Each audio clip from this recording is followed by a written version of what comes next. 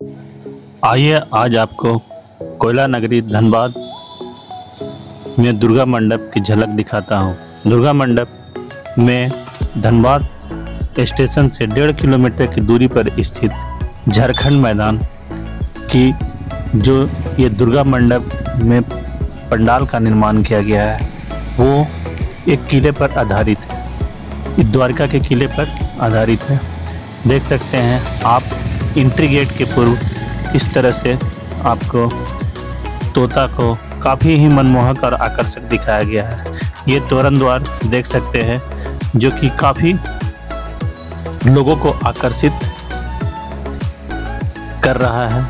इसकी लाइट काफ़ी ही ऊँची है, लगभग 50 फीट ऊँची बनाई गई है, जिसे देखकर हर कोई का मन मोह लेता है।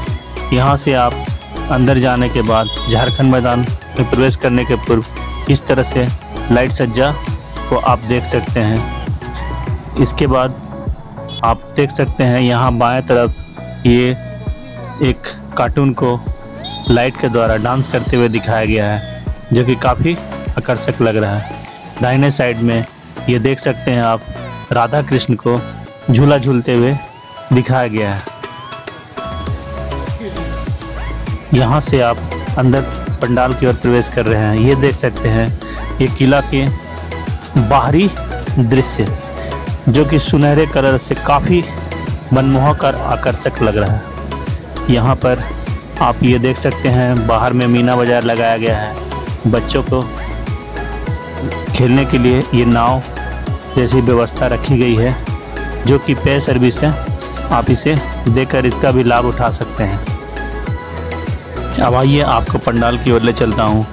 ये देख सकते हैं पंडाल, ये बीच का जो पंडाल जो ऊँचा है, वह माँ की प्रति, वहाँ पर माँ की प्रतिमा को स्थापित की गई है। ये पंडाल के अंदर का दृश्य देख सकते हैं, जो कि किला नुमा बनाया गया है।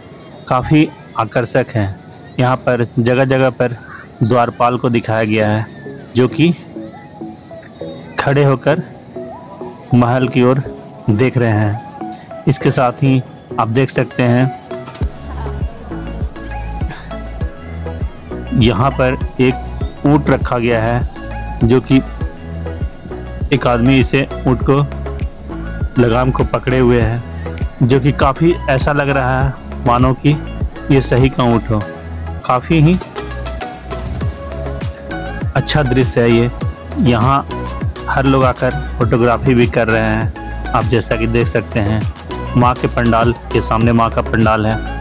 इसी पंडाल के सामने यहाँ पर एक गोल चबूतरा के रूप में शिवलिंग रखा गया है, जिसके सामने लोग नृत्य करते हुए दिखाया गया है। नृत्य, ये लोग डांडिया नृत्य कर रहे हैं, तथा माँ को आराधना में लीन है। यहाँ से आप देख सकते हैं, ये बाहर का दृश्य।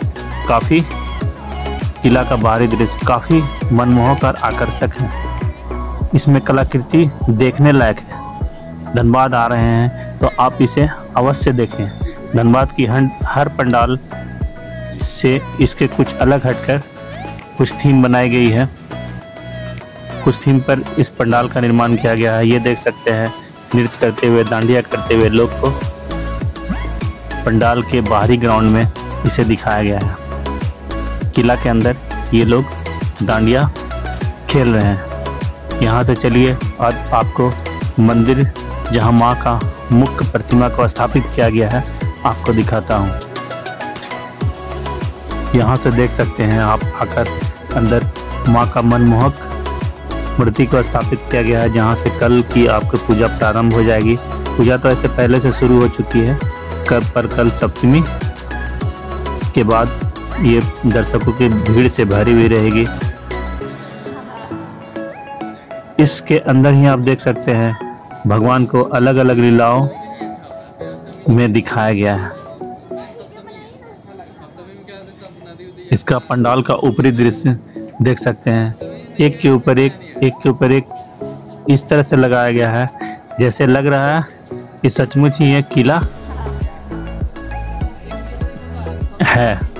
आप देख सकते हैं ये काफ़ी ही आकर्षक बनाया गया है। यहाँ पर आने के बाद कोई भी व्यक्ति बिना रुके हुए नहीं जा सकता। फोटोग्राफी देख रहे हर कोई फोटोग्राफी कर रहा है। जैसा कि मैं भी कर रहा हूँ, आप देख सकते हैं, भगवान की विभिन्न लीलाओं को इस दुर्गा माँ के मंडप के अंदर में दिखाया गया है। यहाँ से आप देख सकते हैं, ये शेषनाग, यहाँ माँ की प्रतिमा, यहाँ से फिर ये बाहर जाने का रास्ता है। एक द्वार से आप प्रवेश करेंगे, दूसरे द्वार से आपको निकलना है। यहाँ पर शेषनाग पर भगवान कृष्ण को डांस करते हुए दिखाया गया है।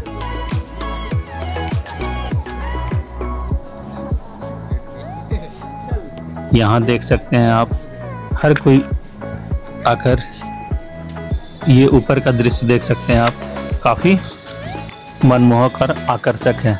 कलाकृतियाँ इसकी देखने लायक हैं। अगर आप नहीं देख रहे हैं तो शायद आपको कल अफसोस हो कि क्यों नहीं मैं आ गया। आप इसे आकर अवश्य देखें। यहाँ से ये बाहरी गेट है। यहाँ से आपको बाहर निकलना है। यहाँ से आपको मैं बाहर ले जाकर दिखाता हूँ। ये देखिए। यहाँ से बाहर निकलने के बाद ये बाहर का नज़ारा देखिए। माँ का मुख्य मंदिर से बाहर कर निकलने के बाद यहाँ से किला का बाहरी दृश्य आप देख सकते हैं। कितना आकर्षक विद्युत सज्जा से सुसज्जित किया गया है। धन्यवाद।